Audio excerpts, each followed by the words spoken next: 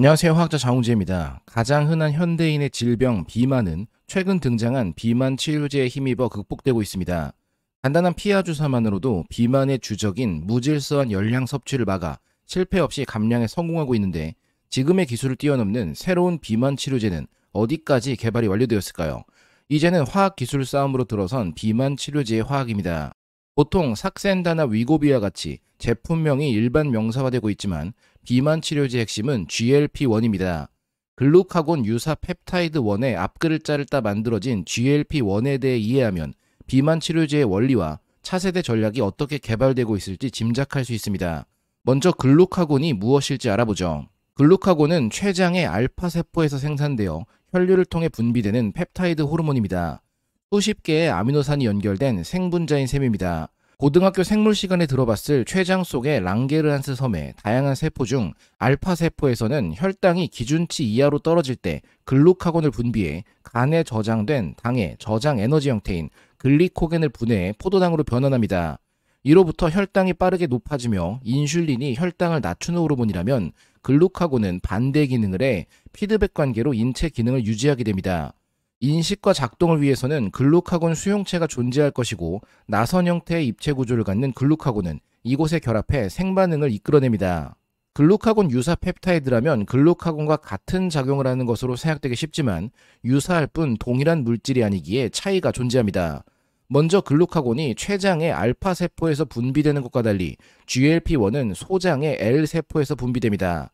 소장은 흡수와 관련된 장기인 만큼 식사 이후의 과정과 연관되는데 글루카곤이 포도당 생성으로 혈당을 높이는 것과 달리 GLP-1은 오히려 혈당을 낮춥니다. 부가적인 효과로 글루카곤이 포도당 생성을 위해 지방을 분해하는 직접적인 작용을 하지만 GLP-1은 포만감을 느끼게 하죠. 결국 GLP-1은 배부름을 느끼게 해 식욕을 줄이고 먹고 싶다는 충동을 감소시킵니다. 음식을 먹기 시작할 때 빠르게 분비되어 배부름을 점차 느끼게 하는데 약물로서 역할한다면 음식을 보고 냄새만 맡아도 배부름을 느끼는 현상이 발생해 체중 감량에 긍정적인 영향을 미치게 됩니다. 특징들을 종합할 때 글루카곤은 저혈당 상태의 응급치료 목적으로 활용될 수 있으며 GLP-1은 혈당과 관련되어 있기에 당뇨병의 관리나 비만 치료가 주요합니다. GLP-1은 원래 당뇨병 치료제로 개발되었으며 예상치 못한 체중 감소가 관찰된 물질입니다. 당뇨병 환자의 체중 감소는 초기에 부작용으로 간주되어 왔지만 오랜 기간 추적 관찰한 결과 건강을 유지한 채 살이 빠지는 것이 확인되어 비만 치료라는 새로운 목적으로 주목받게 된 셈입니다. 분비된 GLP-1의 역할은 단순히 비만 치료로 치부하기에는 훨씬 다양합니다. 먼저 GLP-1 역시 글루카곤과 마찬가지로 30개 혹은 31개의 아미노산 연결된 펩타이드 물질입니다. 인체에서의 GLP-1의 작용을 조금 더 구체적으로 본다면 먼저 췌장에서 글루카곤의 분비를 억제하고 인슐린 분비를 증가시킵니다. 이는 간에서의 간 포도당 생성의 억제, 지방 조직에서 지방 분해 반응의 가속과 포도당 흡수의 증가, 그리고 근육 조직의 포도당 산화를 증가시켜 혈중 포도당을 흡수시키거나 에너지로 소모되도록 합니다. 위장관에서는 소화 속도를 늦춰 혈당의 급격한 상승을 방지하고 포만감을 오래 유지시키며 뇌에서는 식욕 감소와 포만감의 증가 그리고 에너지 소비를 늘려 체중 감량 효과를 유도합니다. 이러한 효과들은 당연히 GLP-1이 비만 치료제로 적용될 잠재력이 높다는 것을 의미했는데 현재 가장 유명한 두 종류의 상용 치료제인 삭센다와 위고비를 보면 GLP-1이라는 표현이 대놓고 쓰여 있진 않습니다. 삭센다의 경우에는 리라글루타이드 그리고 위고비는 세마글루타이드라는 물질로 표기되어 있습니다. 하지만 이 두 물질의 실제 구조를 본다면 아미노산이 길게 연결된 것으로부터 미루어 GLP-1과 아주 비슷한 물질인 것을 알 수 있고 정체불명의 긴 탄소 사슬 구조 등이 추가된 것에서 기능이 개선된 의약품으로 재탄생했을 것도 예상할 수 있죠. 식욕 억제와 포만감 유도 그리고 에너지 소모 가속 목적으로 사용될 개발된 비만 치료제 물질들의 종류는 다양하며 모두 아미노산과 약간의 변형으로 이루어진 펩타이드 물질임을 볼 수 있습니다. 기본형이자 최초의 발견이었던 GLP-1은 약으로 사용하기에 큰 약점이 있는데 바로 dipeptidyl peptidase 4라는 효소에 의해 잘려나간다는 것입니다. DPP4 효소는 장에서 분비되는 호르몬을 뜻하는 incretin 펩타이드를 분해하는 효소인데 GLP-1은 단 2분 내에 모두 분해되기에 효과가 사라집니다.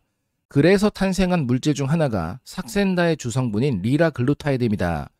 30개 아미노산으로 이루어진 GLP-1 737을 기반으로 해 97%의 구조적 유사성을 갖는 물질인데 34번짜리 아미노산이었던 라이신을 아르기닌으로 변경해 지방산의 부착을 위한 특이적 변형을 만듭니다. 또한 26번 아미노산 라이신에 16개 탄소사슬로 이루어진 지방산을 붙여 알부민과의 결합을 강화해 체내 안정성과 유지력을 증가시켰죠. 위고비의 주성분 세마글루타이드 역시 미세하게 구조가 변형되어 있습니다. 특히 8번짜리 아미노산 알라닌을 알파 아미노 아이소 뷰티르산으로 바꿨는데 여기서 DPP4 효소에 대한 저항성이 증가합니다. 삭센다는 매일 맞아야지만 위고비는 일주일에 한 번만 맞아도 되는 것이 이 변경으로 내구성이 증가해 작동을 더 오래 할 수 있기 때문입니다. 이에 대한 약동학적 특성으로 세마글루타이드의 체내 반감기가 7일이기에 주 1회 투여하는 기준이 만들어진 것입니다. 수용체 활성화 효과 역시 세마글루타이드가 0.38 나노몰 농도의 반수 효과량을 리라글루타이드는 0.83 나노몰 농도의 수치로 위고비가 더 뛰어나며 체중 감소 결과 또한 리라글루타이드가 주 3.0mg 투여로 평균 7.4% 감소한 것에 비해 세마글루타이드는 주 2.3mg 투여해서 평균 14.9% 감소가 이루어져 위고비가 더 좋습니다. 화학 구조 기능 관계를 종합적으로 논의할 때 세마글루타이드의 생분자 구조 변형으로 리라글루타이드에 비해 40배 증가된 생체 이용률을 보일 정도입니다. 혈뇌장벽 투과율 증가로 시상하부에서 식욕 조절 중추에 대한 직접적인 작용이 가능하기 때문으로 밝혀졌습니다. 비만 치료제라는 거대 시장에 많은 제약사들이 뛰어들고 있습니다. 국내 사례들만 봐도 다음과 같은 임상 진행 차세대 전략들이 있는데 가장 간단한 형태로는 인벤티지랩의 IVL3021이나 펩트론의 PT403과 같은 세마글루타이드 치료제입니다. 위고비와 같은 세마글루타이드로 보이지만 이제는 한 달에 한 번만 투여해도 효과가 충분하니 주사를 놓는 불편함이 크게 감소하죠.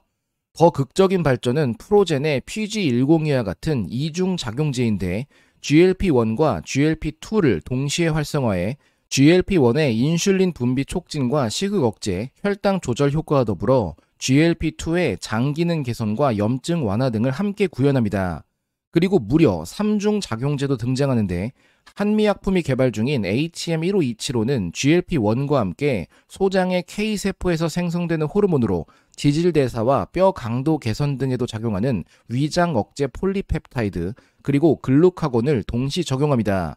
무엇보다 다중작용제가 연구되는 이유는 기존 GLP-1 계열 비만 치료제의 약점인 근육량 감소 문제를 극복하기 위함으로 체중 감량과 동시에 근육 보존 효과를 구현하려는 목적입니다.